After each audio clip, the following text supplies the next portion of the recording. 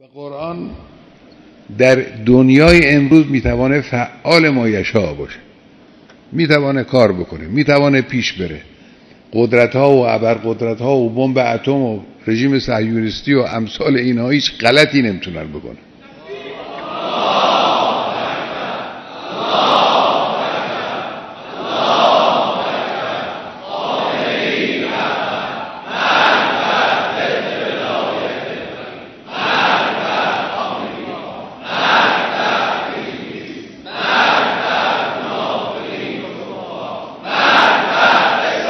مهم این است که ما پایه های ایمانی قرآنی خودمون رو روز به روز مستحکم تر کنیم و زبان انتقال قرآن رو بلد بشیم و مفاهیم قرآن رو منتقل کنیم. یعنی مثل اینکه یه داروی مقوی رو شما یه قطرش رو تو یک لیوان میریزید می‌دید طرف می‌خوره استفاده می‌کنه. اگر پنج قطره به جای یک قطره ریختید ممکنه ضرر کنه نتونه هضم کنه.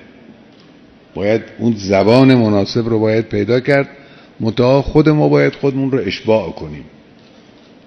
خود دلهامون رو اشباع کنیم روحمون رو اشباع کنیم. پر کنیم از معارف قرآنی. ما خودمون هم خیلی محتاجیم.